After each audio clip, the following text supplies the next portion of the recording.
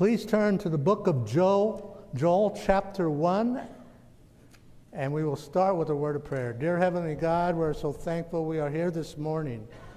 We are so thankful um, to be in your church, to be able to pray, to sing, to uh, study the Word of God, to fellowship, and to join together. We look forward to the day when we can do that all the time, every day, and every minute of the day with God's people. And we pray, Lord, that the Holy Spirit will continue to lead this church in the right direction because we know, God, you will lead us in the way that we need to go. And we ask for your guidance in doing that. Help us to be servants of God and to trust you in all things. In your name we pray. Amen. Richard didn't ask me about who my superhero was, but my superhero is Jesus. Amen? All right, we just wanted to get that straight. He's the ultimate superhero. In the book of Joel, it gives the story of where there is this raging locust that goes throughout all of Judah, and it just eliminates and destroys everything. And in the book of Joel, unlike other prophecies, Joel is there when this happened. He is a prophet when it is going on and takes place. Unlike John, who talks about the things to come, even Jesus, who talks about the end and the destruction of Jerusalem and what will happen in the end days here, here Joel has experienced it, and he knows that he has to speak up on this here because this is a disaster that is really, really bad. It affects all of the people, every one of them, in their fields, in their homes, in their lives, and everything. He starts out and says this in the first book of Joel, chapter 1. He says, Hear this, you elders, and give ear, all you inhabitants of the land. Has anything, listen to this, has anything like this happened in your days? Has anyone asked you that question in the last year or so?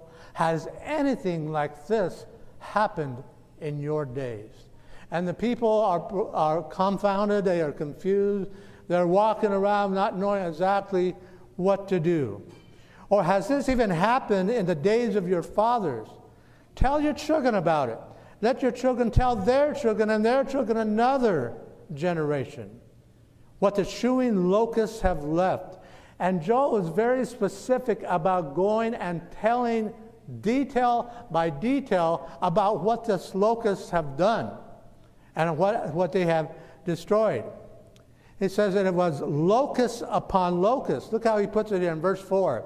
What the chewing locust left, the swarming locust has eaten. What the swarming locust left, the crawling locusts have eaten. And what the crawling locust left, the consuming locust have eaten.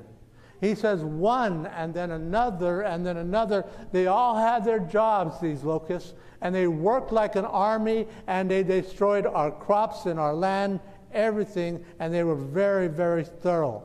He says in verse 12, the vine has dried up, and the fig tree has withered, the pomegranate tree, the palm tree also, and the apple tree. All the trees of the fields are withered. Surely joy has withered away from the sons of men. So just as everything of the trees and all has withered, so has the Son of Man withered too. That they're walking around, they're looking at their land, and, and they're saying, What are we going to do now?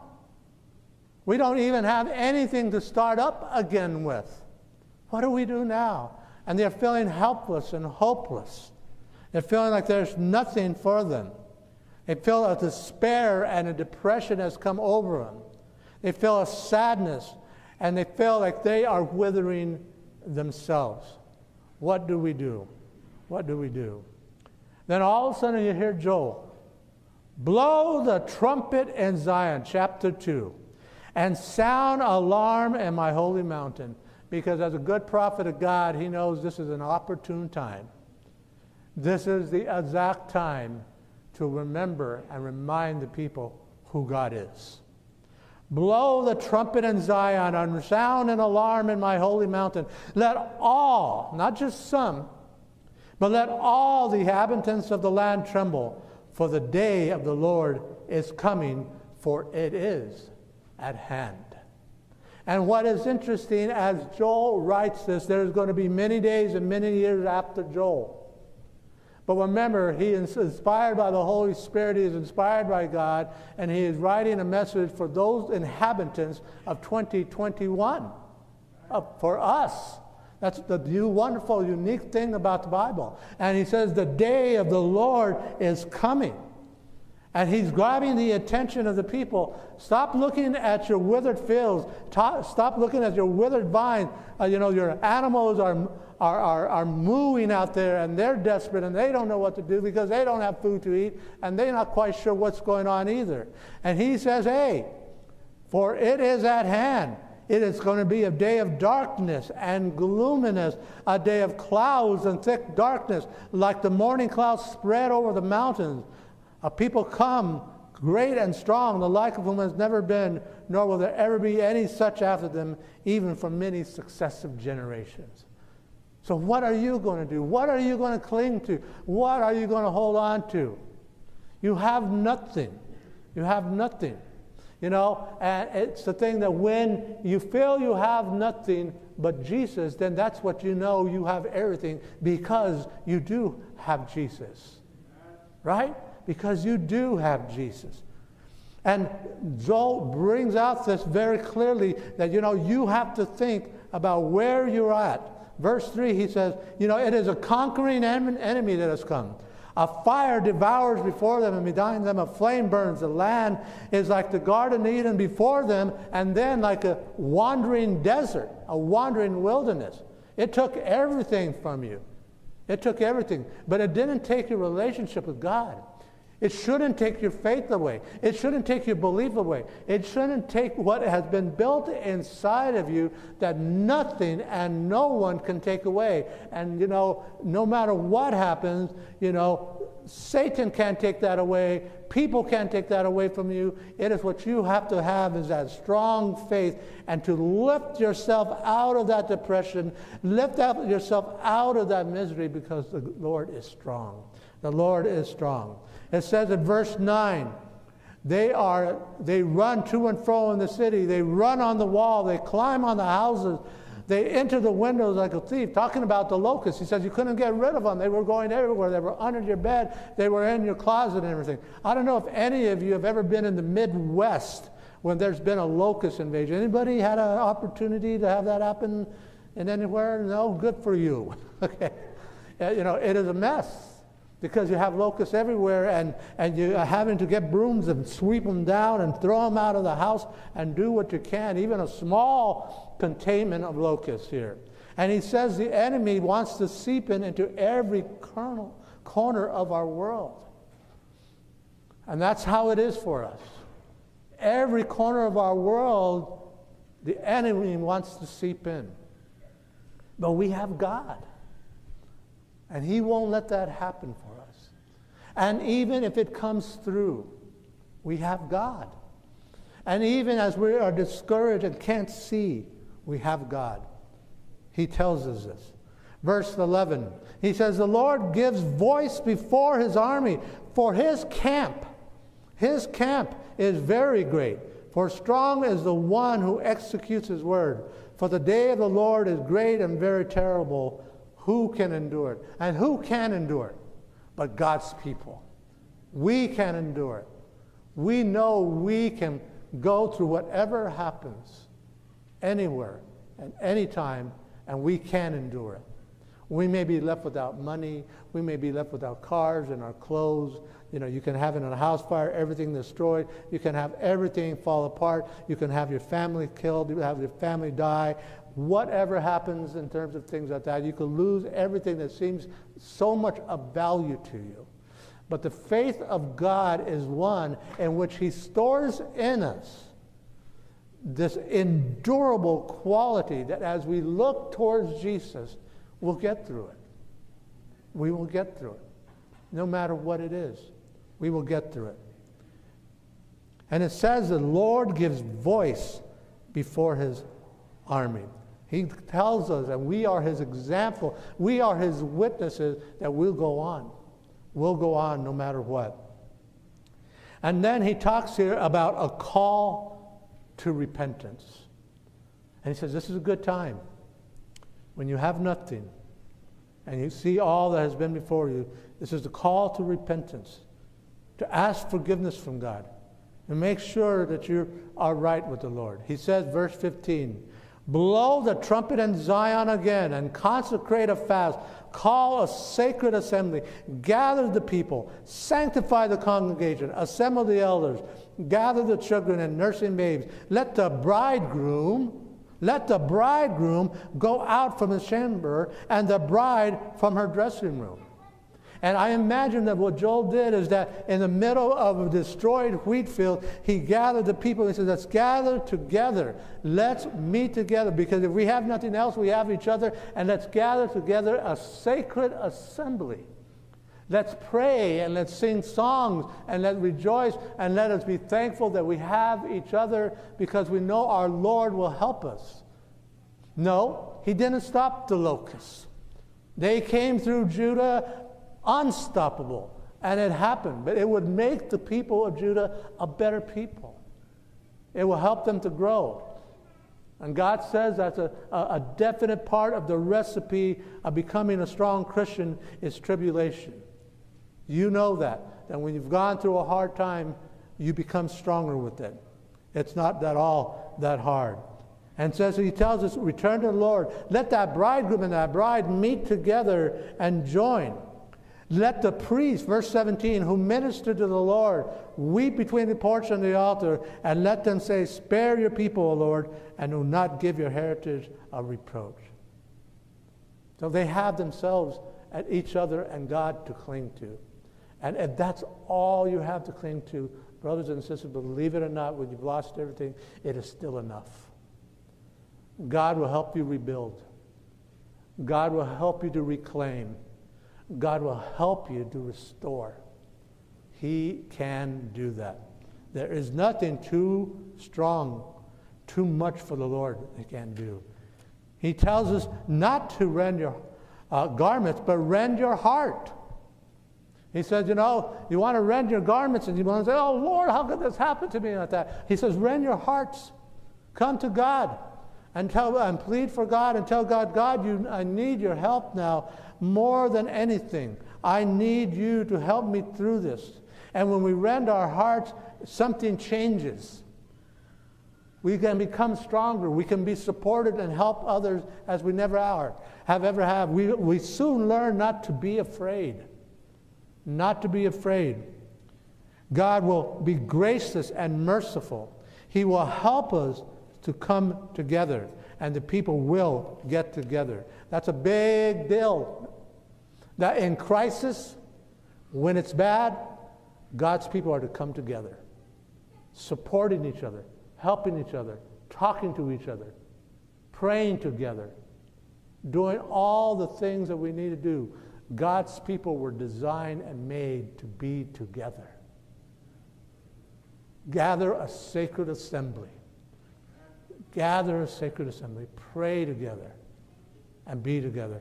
I, I saw this thing where uh, the people had had an earthquake and their homes are destroyed. And you know, they're walking down the streets of their neighborhood, and this house is destroyed, and this house is in rubble, and this house is in rubble, and everything is destroyed.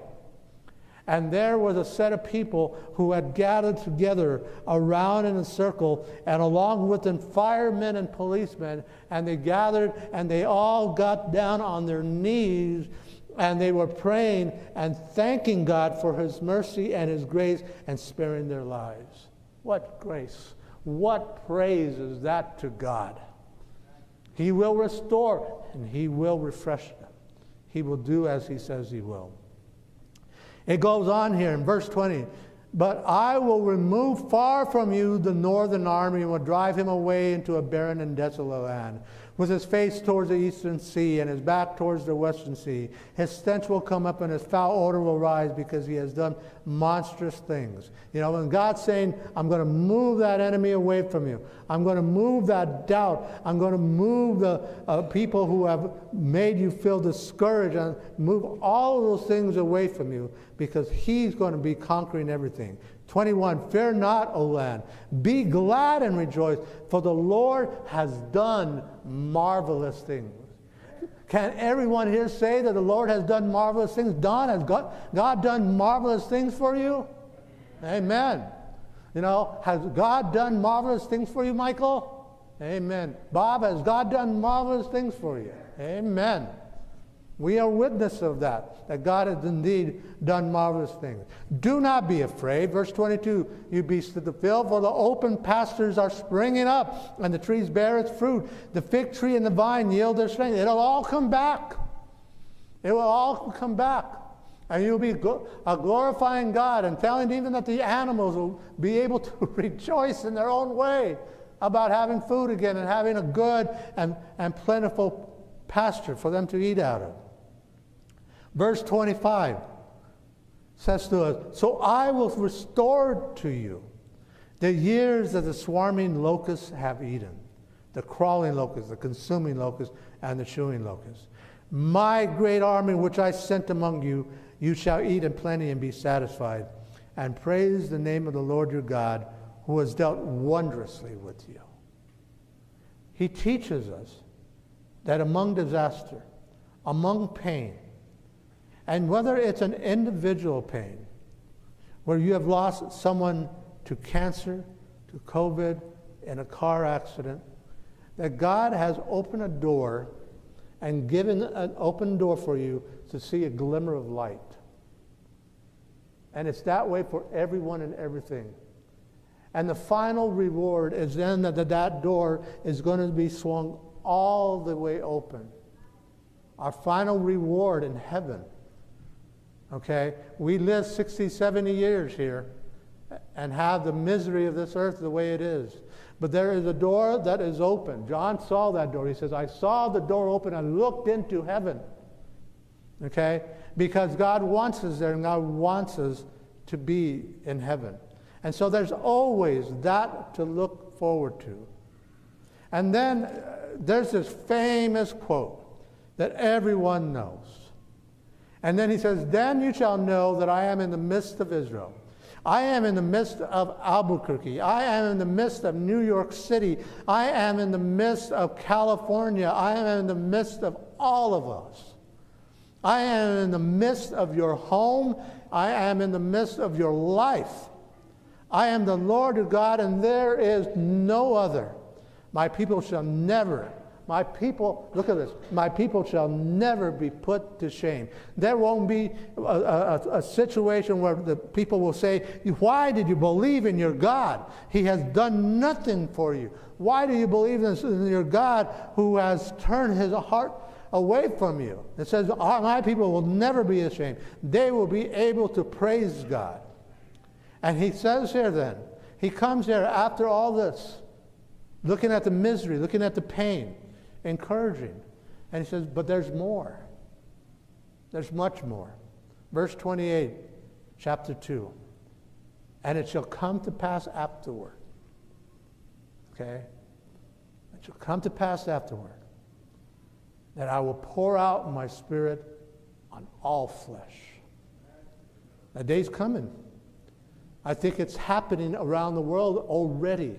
The Holy Spirit is going upon all flesh. And the reason it says all flesh is because there's God's people working in every nation, land, and people. And it's going to all flesh because there's people who need to know about God and who will be illuminated by the light of God. It says it's going to go to all flesh because that's the power of the Holy Spirit. It talks about the latter rain and the former rain. The former rain, you know, it comes in the spring to start those crops off, and then you have the harvest with the latter rain here. And it says now that Spirit of God will come to pass afterward, and that I will pour out my Spirit on all flesh. And it says things will change. spiritually throughout this world, things will change. It'll be a noticeable change. A notable change. It says, Your sons and your daughters shall prophesy. Your old men shall dream dreams, and your young men shall see visions. In other words, people will be touched by that Holy Spirit to tell others, He's coming soon. He's coming soon. Be ready. He's coming soon. Whether they receive it in prophecy, in vision, in dreams, or whatever way, He says that Holy Spirit will not be stopped it will go throughout the whole nations of all over the world. There will be a Holy Spirit. There will be a time in this world where there will be chaos, havoc, and everything on one side, and there will be this Holy Spirit just dwelling in everywhere. And it's for us to receive that Spirit, to have it poured out on all of us so that we can have that. And when we have it, we will look past politics. We will look past social norms. We will look past the bad news that is around us. We will look past all the disagreements that we have because we got all focused, all centered because that Spirit is poured out on all to give the final end time message to the world and you can do all you want to get down to the understanding of the Antichrist and what's going to happen and the change of governments and all the things that are taking place and all that. You can do that and you can educate yourself well and prepare for you for all those things. But you're going to, at one point, have to look past all of that and do what God tells you to do. Go out there. Tell people that Jesus is coming soon to turn your hearts toward God, to believe in the one true God who's coming with thousands times ten thousands and thousand times ten thousand angels, and he's coming to proclaim his, his glory, and he's coming to bring get his people and gather them together. That is going to be the social event of the year, folks. Right? That's going to be it. No one's going to miss it. Not the people in China, not the people in Russia, not the people in, in Peru or Bolivia, not anybody anywhere. It's a glorious, glorious thing. And I will show wonders. I will show wonders in the heavens and in the earth blood and fire and pillars of smoke. The sun shall be turned into darkness and the moon into blood before the coming of the great and awesome day of the Lord. And you may be shaking in your boots. But if you have the faith that God has built inside of you and you work towards getting that faith, he says there, and it shall come to pass that whoever calls on the name of the Lord, and that doesn't mean in a casual, flippant way. You call on the name of the Lord, it means that in your heart you made up your mind a long time ago to give it to God, to serve God, to do God, to obey God, to tell about God. That whoever calls on the name of the Lord shall be what? Shall be saved. Easy religious policy, easy religious doctrine. There's no hiding behind that. You will either or you will not call on the name of the Lord. It's black and white. There's no in between. There's no left behind. Okay? Call on the name of the Lord, it shall be saved. For in Mount Zion and in Jerusalem there shall be deliverance, as the Lord has said, among the remnant whom the Lord calls. And it's a remnant. We have to face the fact that out of all the billions of people that will have ever lived and existed in this world, the majority of them will be lost. The majority of them will not go to heaven. And that's kind of sad because that is the way the world has gone. But there will be a people that will be delivered among the remnant whom the Lord calls. There will be a people who will answer the call. And he brings out in this last chapter of the book of Joel where God judges the nation. He says in verse 7 Behold, I will raise them, one out of the place to which you have sold them, and will return your retaliation upon your own head. I will sell your sons and daughters into the hands of the people of Judah, and they will sell them to the Sabaeans, to a people far off, for the Lord has spoken. There is a punishment, there is a judgment. It will happen. God says there must be the difference. There must be a cleansing of sin, and there must be a cleansing of sinners. It has to happen. They have got to be removed. They have got to be removed. And God indeed will judge the nations. And it was tell us here, verse 10 Beat your plowshares and the swords, and your pruning hooks with spears. Let the weak say, I am strong. Assemble and come, all you nations, and gather together all around. Cause your mighty ones to go down there, O Lord. That beat your plows into swords and your pruning hooks into spears. Can anyone remember when that was said in our nation's history? Maybe you can't remember. If you're 50 and older, you should remember this, okay? But maybe you don't. But there was that agreement that Jimmy Carter had with Israel and uh, with the Palestinian nation to join them together. That somehow we can stop this war. We can stop this fighting in the Middle East, and we can all of a sudden be friends and we won't have to fight, and we have this Israel peace accord that we're going to have. Is it working? Is it working? There's still wars, there's still bloodshed. It's only Jesus, brothers and sisters. It's only Jesus that ends the conflict. It's only Jesus.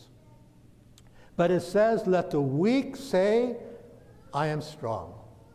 And you're strong because of who? Who are you strong by? I am, by God, by Jesus. I am weak, but He, He is strong. He is strong. And so it tells us that, yeah, there will be a time, and it will come to pass in that day that the mountains shall drip with new wine. The hills shall flow with milk, and all the brooks of Judah shall be flooded with water. This is the last part there in Joel. A fountain shall flow from the house of the Lord and water the valley of Acacias. It tells that there will be a time when things will bloom again. Things will be refreshed and made new. And in our scripture today, of Isaiah 51, it gives us a, an enduring, enduring promise. It tells us here, so the ransom of the Lord shall return. And come to Zion with singing, with everlasting joy on their heads. They shall obtain joy and gladness. Sorrow and sighing shall flee away. When we go to heaven, we're going to see these streets of gold, but that's not it we're going to see acres and acres of flowing, beautiful grass. But that's not it. We're going to see mansions and homes, beautiful, perfect areas to live in. But that's not it. We're going to see angels, ten thousands and thousands of angels. We're going to see other people from other worlds gathering around and looking at us as we enter into those gates the redeemed of the Lord, that's them. That's them. But what heaven is, above all of the glorious things that we will see with our eye, is that we will be in the presence of Jesus. That's all that really matters. We're in the presence of Jesus to where we can feel and see and absorb Jesus. Because that's what heaven is Jesus. All those other things are great and they're nice, they're okay, and we'll love to see all that. But it's Jesus above all things. Dear Lord, we ask you to help us to see Jesus now, to feel Jesus in his presence now. Let our hearts be turned to serving. Let our hearts be turned in a good way to doing good to be thinking good of others, that the hate and the anger, and the resentment, the mistrust, let it melt away, Lord, and let it be replaced by goodness and honesty and love and compassion. We are a people that we are waiting for that trumpet to blow so that we can return to Zion. In your name we pray. Amen.